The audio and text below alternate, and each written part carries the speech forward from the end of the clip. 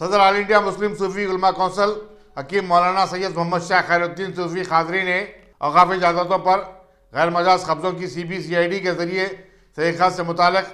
Assembly में chief minister K Chandrashekar Rao के ऐलान का खैर मकदम किया। अपने एक बयान में मौलाना शाह खैरुद्दीन खादरी ने तो ज़ाहिर की कि इस तहकीक़ात से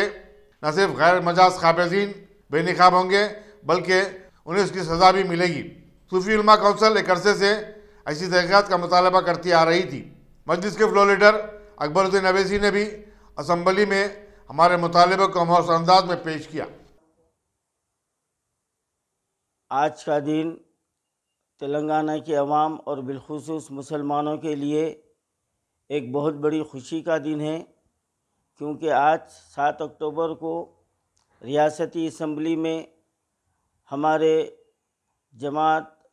मजलिस इतिहादुलमुस्लिमीन के फ्लोर लीडर जनाब अकबरुद्दीन अवैसी साहब ने दो दिन पहले जो असम्बली में हुकूमत से मुतालबा किया था कि वक्फ बोर्ड की C B C I D के ज़रिए से इंक्वायरी करवाई जाए तो अल्हम्दुलिल्लाह हमारे फ्लोर लीडर की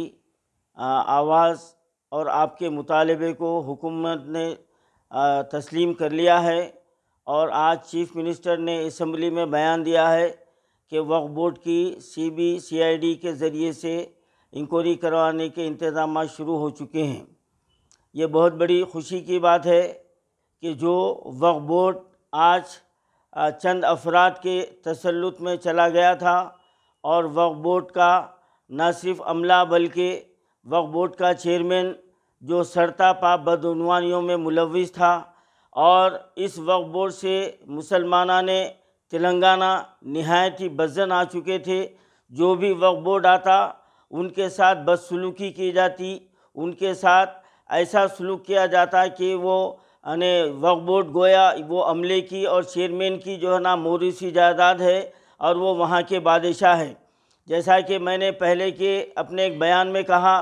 कि हर दौर में फ़िरौन पैदा हुआ है, हर दौर में ख़ानून पैदा हुआ है, लेकिन अल्लाह ताला उनका नाम व निशान रोए ज़मीन से मिटा दिया और उनकी ज़िंदगी को आने वाली अवामनास के लिए एक इबरतनाक जो है ना कायम कर रखा है।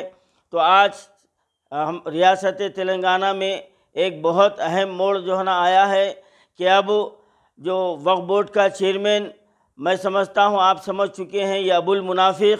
जितने भी धांधला किया है 2004 में जब बाबू के दौर में ये चीफ मिनट, जब बाबू के दौर में चेयरमैन था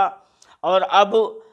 के सी आर के दौर में ये मुसलसल वक्फ बोर्ड पर कब्ज़ा किए हुए थे, आज उनकी जो है ना खबर खुद चुकी है और यकीनन मुझे ये उम्मीद है कि जब ये इंक्वायरी होगी तो यकीनन ये सलाखों के पीछे होगा, क्योंकि इन्होंने इतनी बदउनवानी की है और ये ख़ुद मुसलमान होने का दावा करते हुए लोगों को अल्लाह से डराने का ढोंग रचाते हुए ख़ुद मुसलमानों की इमलाक को तबाह व बर्बाद किए और करोड़ों रुपए इससे जो ना हासिल किए और फिर इनका अमला अपने चेयरमैन के नक्श क़दम पर चलते हुए मैं यकीन से कह सकता हूँ कि वक्फ बोर्ड का हर मुलाजिम इस वक्त करोड़पति है।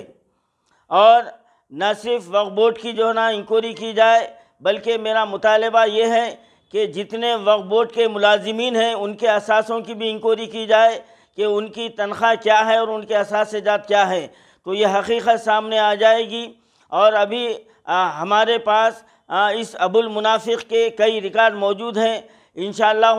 वो तफसीली गुफ्तु तो आगे होगी। मैं आज खसूसी तौर पर मैं इस